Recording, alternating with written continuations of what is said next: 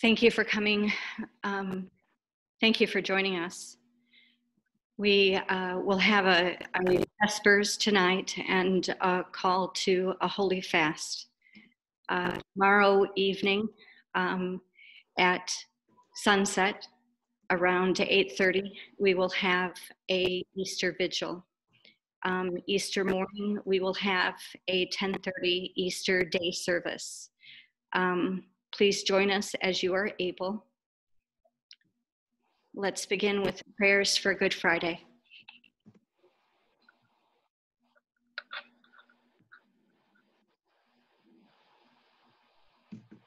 Almighty God, graciously behold this your family, from whom our Lord Jesus Christ was willing to be betrayed unto the hands of sinners and to suffer death upon the cross, who now lives and reigns with you and the Holy Spirit, one God, forever and ever. Amen. Christ himself bore our sins in his body on the tree, that we might die to sin and live to righteousness. Let us pray. Almighty God, your Son, Jesus Christ, was lifted high upon the cross so that we might draw the whole world to himself. Grant that we, who glory in this death of our salvation, may also glory in his call to take up our crosses and follow him. Through Jesus Christ our Lord. Amen.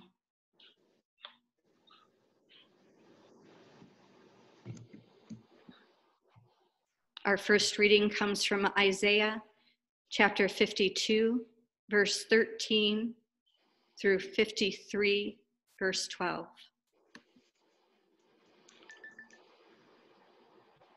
Behold, my servant will prosper. He will be high and lifted up and greatly exalted, just as many were astonished at you, my people so his appearance was marred more than any man, and his form more than the sons of men. Thus he will sprinkle many nations.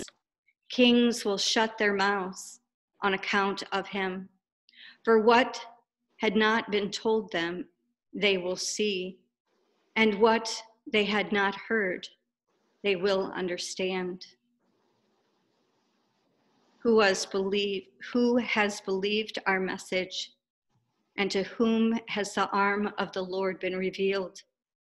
For he grew up before him like a tender shoot and like a root out of parched ground. He has no stately form or majesty that we should look upon him nor appearance that we should be attracted to him he was despised and forsaken of men, a man of sorrows and acquainted with grief, and like one from whom men hide their face. He was despised, and we did not esteem him. Surely our griefs he himself bore, and our sorrows he carried. Yet we ourselves esteemed him stricken, smitten of God, and afflicted. But he was pierced through for our transgressions, he was crushed for our iniquities. The chastening of our well being fell upon him, and by his scourging we are healed. All of us, like sheep, have gone astray each of us has turned to his own way, but the Lord has caused the iniquity of us all to all fall on him. He was oppressed and he was afflicted, yet he did not open his mouth.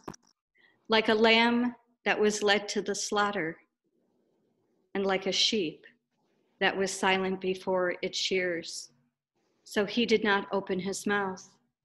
By oppression and judgment, he was taken away.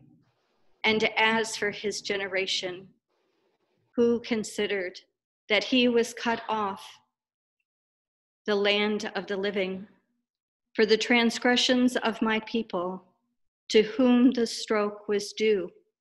His grave was assigned with wicked men, yet he was with a rich man in his death, because he had done no violence, nor was there any deceit in his mouth. But the Lord was pleased to crush him, putting him to grief. If he would render himself as a guilt offering, he will see his offspring. He will prolong his days, and the good pleasure of the Lord will prosper in his hand. As a result of the anguish of his soul, he will see it and be satisfied. By his knowledge, the righteous one, my servant, will justify the many, as he will bear their iniquities Therefore, I will allot him a portion with the great, and he will divide the booty with the strong, because he poured out himself to death and was numbered with the transgressors. Yet he himself bore the sin of many and interceded for the transgressors. The word of the Lord. Thanks be to God. The psalm appointed for today is Psalm 22. My God, my God, why have you forsaken me? Far from my deliverance are the words of my groaning. My God, I cry by day, but you do not answer, and by night, but have no rest. Yet you are holy O you who are enthroned upon the praises of Israel, in you our fathers trusted. They trusted, and you delivered them. To you they cried out and were delivered. In you they trusted and were not disappointed. But I am a worm and not a man, a reproach of men and despised by the people. All who see me sneer at me. They separate with the lip. They wag their head, saying, Commit yourselves to the Lord. Let him deliver him. Let him rescue him, because he delights in him. Yet you are he who brought me forth from the womb. You made me trust when upon my mother's breast. Upon you I was cast from birth. You have been my God from my mother's womb. Be not far from me, for trouble is near, for there is none to help. Many bulls have surrounded me. Strong bulls of Bashan have encircled me. They open wide their mouth at me as a ravaging and roaring lion. I am poured out like water. All my bones are out of joint. My heart is like wax. It is melted within me. My strength is dried up like a potsherd, and my tongue cleaves to my jaws. And you lay me in the dust of death, for dogs have surrounded me a band of evildoers has encompassed me. They pierced my hands and my feet. I can count all my bones. They look, they stare at me. They divide my garments among them. And for my clothing, they cast lots. But you, O Lord, be not far, far off. O you, my help Hasten to my assistance. Deliver my soul from the sword, my only life from the power of the dog. Save me from the lion's mouth, From the horns of the wild oxen, you answer me. I will tell of your name to my brethren. In the midst of the assembly, I will praise you. You who fear the Lord, praise him. All you descendants of Jacob, glorify him and stand in awe of him. All you descendants of Israel, for he has not despised nor aborted the affliction of the afflicted, nor has he hidden his face from him. But when he cried to him for help, he heard. From you comes my praise in the great assembly. I shall pay my vows before those who fear him. The afflicted will eat and be satisfied. Those who seek him will praise the Lord. Let your heart live forever, and the ends of the earth will remember and turn to the Lord, and all the families of the nations will worship before you. For the kingdoms is the Lord, and he rules over the nations all the prosperous of the earth will eat and worship. All those who go down to the dust will bow before him, even he who cannot keep his soul alive. Posterity will serve him. It will be told to the Lord, to the coming generation. They will come and will declare his righteousness to a people who will be born that he has performed it. The word of the Lord. Thanks be to God. A reading according to the Hebrews, chapter 10, verse 16 through 25. Thus is the covenant that I will make with them. After those days, says the Lord, I will put my laws upon their heart and on their mind, and I will write them. He then says, And their sins and their lawless deeds I will remember no more. Now, where there is forgiveness of these things, there is no longer any offering for sin. Therefore, brethren, since we have the confidence to enter the holy place by the blood of Jesus, by a new and living way which he inaugurated for us through the veil, that is, his flesh. And since we have a great high priest over the house of God, let us draw near with a sincere heart, in full assurance of faith, having our hearts sprinkled clean from the evil consciousness and our bodies washed with pure water let us hold fast the confession of our hope without wavering. For he who promised is faithful. And let us consider how to stimulate one another to love and good deeds, not forsaking our own assembling together, as it is the habit of some, but encouraging one another, and all the more as you see the day drawing near.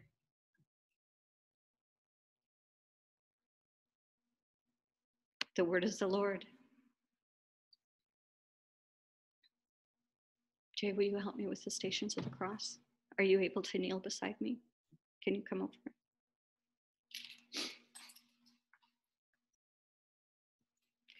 This is the proclamation of the Passion story according to John 18, verse 1 through 1942.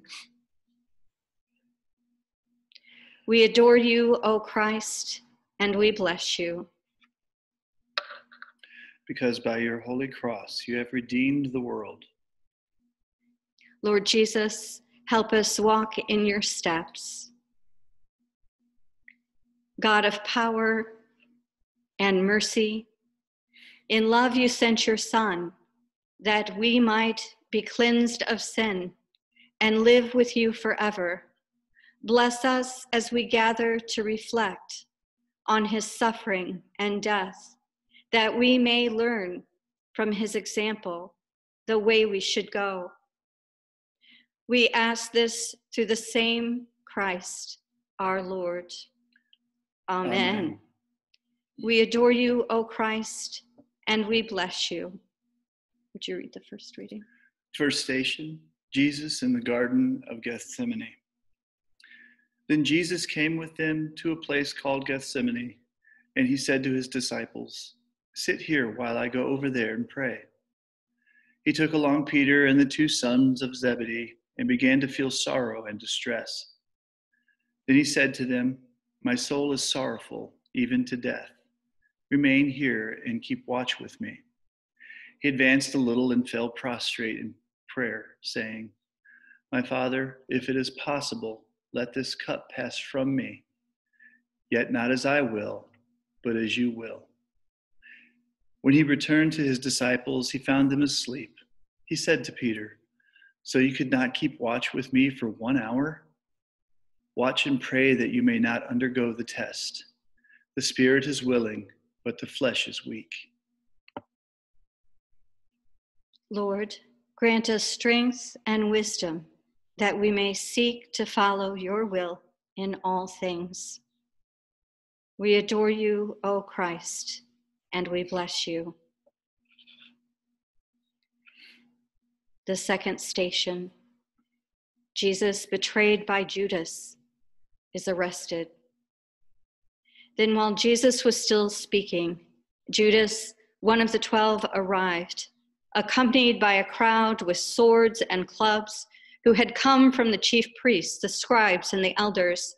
His betrayer had arranged a single, a signal with them, saying, The man I shall kiss is the one. Arrest him and lead him away securely. He came and immediately went over to him and said, Rabbi. And he kissed him. At this, they laid hands on him and arrested him. Lord, grant us the courage of our convictions, that our lives may be faithfully reflected the good news you bring. We adore you, O Christ, and we bless you. Third station Jesus is condemned by the Sanhedrin. When the day came, the council of elders of the people met, both chief priests and scribes, and they brought him before their Sanhedrin. They said, if you are the Messiah, tell us. But he replied to them, If I tell you, you will not believe. And if I question, you will not respond. But from this time, from this time on, the Son of Man will be seated at the right hand of the power of God. They all asked, Are you then the Son of God? He replied to them, You say that I am. Then they said, What further need have we for testimony? We have heard it from his own mouth. Lord, grant us your sense of righteousness, that we may never cease to work to bring about justice of the kingdom that you promised. We adore you, O Christ, and we bless you. The fourth station Jesus is denied by Peter. Now, Peter was sitting outside in the courtyard. One of the maids came over to him and said, You too were with Jesus the Galilean. But he denied it in front of everyone, saying, I do not know what you are talking about. As he went out to the gate, another girl saw him and said to those who were there, This man was with Jesus the Nazarene. Again, he denied it with an oath. I do not know the man. A little later, the bystanders came over and said to Peter, Surely you too are one of them. Even your speech gives you away. At that, he began to curse and to swear, I don't know the man. And immediately the cock crowed. Then Peter remembered the word that Jesus had spoken Before the cock crows, you will deny me three times. He went out and began to weep bitterly. Lord, grant us the gift of honesty, that we may not fear to speak the truth, even when difficult. We adore you, O Christ, and we bless you. The fifth station Jesus is judged by Pilate. The chief priests with the elders and the scribes, that is, the whole Sanhedrin, held a council. They bound Jesus, led him away, and handed him over to Pilate. Pilate questioned him, Are you the king of the Jews? He said. He said to him in reply, You say so.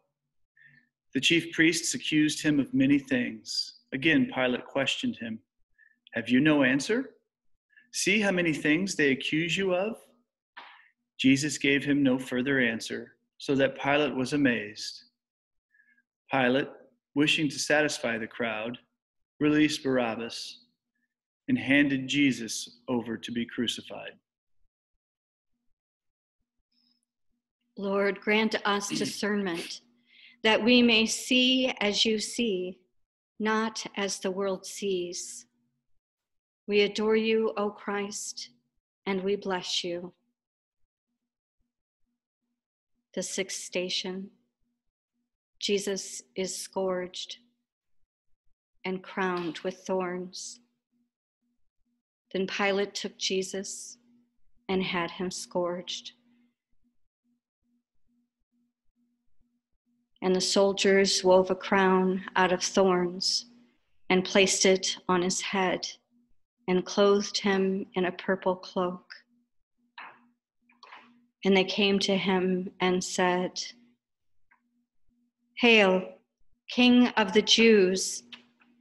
And they struck him repeatedly.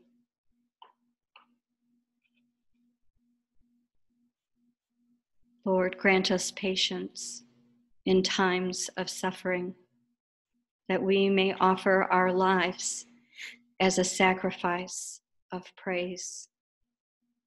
We adore you, O Christ, and we bless you.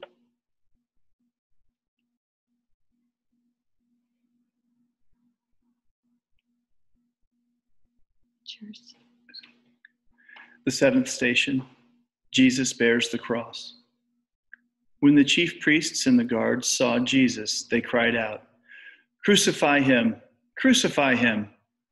Pilate said to them, Take him yourselves and crucify him. I find no guilt in him. They cried out, Take him away! Take him away! Crucify him! Pilate said to them, Shall I crucify your king? The chief priests answered, We have no king but Caesar. Then he handed him over to them to be crucified. So they took Jesus, and carrying the cross himself, he went out to what is called the place of the skull in Hebrew, Golgotha. Lord, grant us strength of purpose that we may faithfully bear our crosses each day. We adore you, O Christ, and we bless you.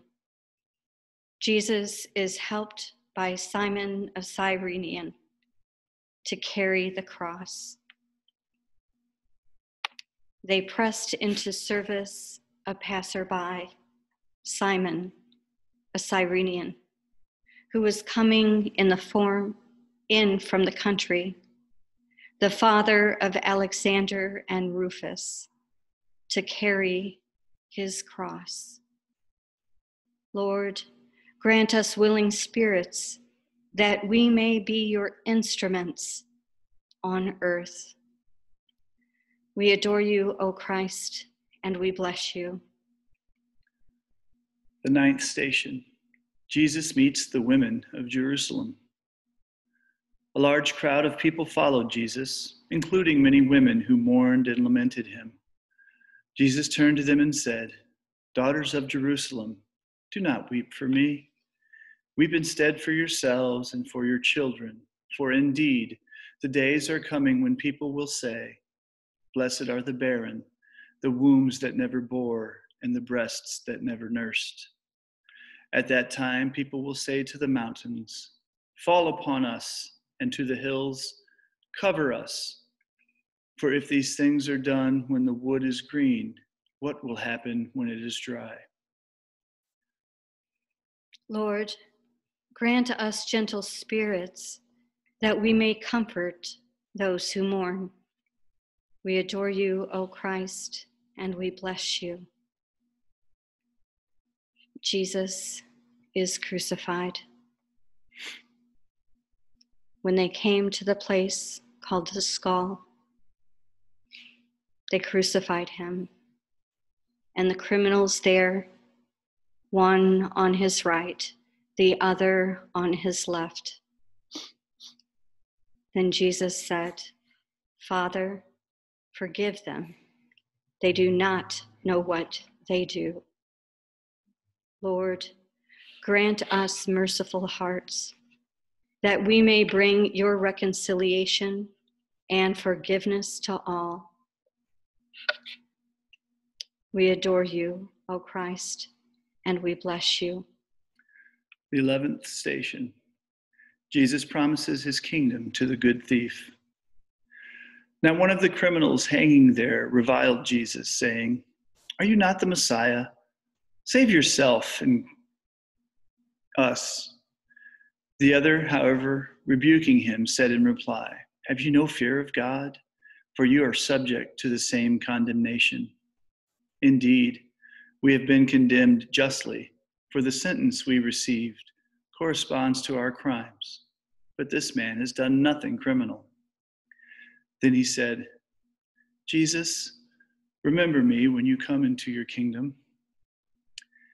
Jesus replied to him, Amen, I say to you, today you will be with me in paradise. Lord, grant us perseverance that we may never stop seeking you. We adore you, O Christ, and we bless you. The 12th station Jesus speaks to his mother and the disciples. Standing by the cross of Jesus were his mother and his mother's sister, Mary, the wife of Clopas, and Mary of Magdala.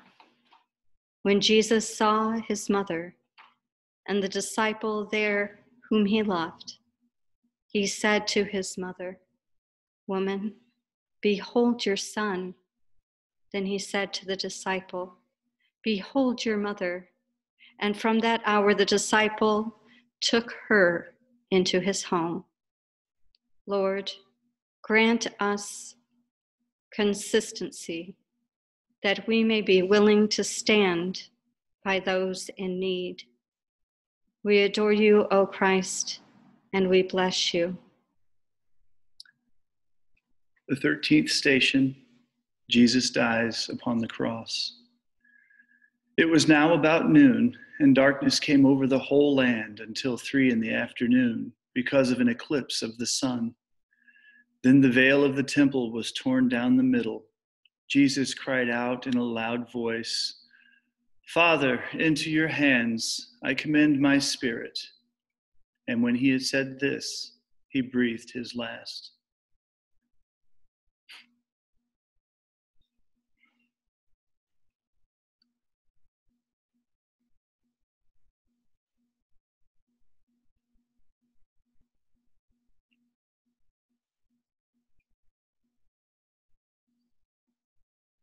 Lord, grant us trust in you, that when our time on earth is ended, our spirits may come to you without delay. We adore you, O Christ, and we bless you. The 14th station Jesus is placed in the tomb. When it was evening, there came a rich man from Arimathea named Joseph who was himself a disciple of Jesus. He went to Pilate and asked for the body of Jesus. Then Pilate ordered it to be handed over. Taking the body, Joseph wrapped it in clean linen and laid it in his new tomb, that he had hewn in the rock. Then he rolled the huge stone across the entrance to the tomb and departed. Lord, grant us your compassion that we may always provide for those in need. Our closing prayer. Lord Jesus Christ, your passion and death is the sacrifice that unites the earth and heaven and reconciles all people to you. May we who faithfully reflect on these mysteries follow in your steps and so come to share your glory in heaven, where you live and reign with the Father and the Holy Spirit, one God forever and ever. Amen. Amen.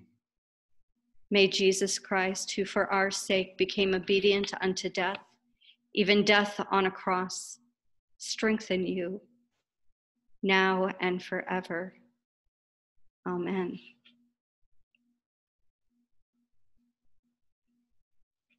Here concludes our Good Friday noon service.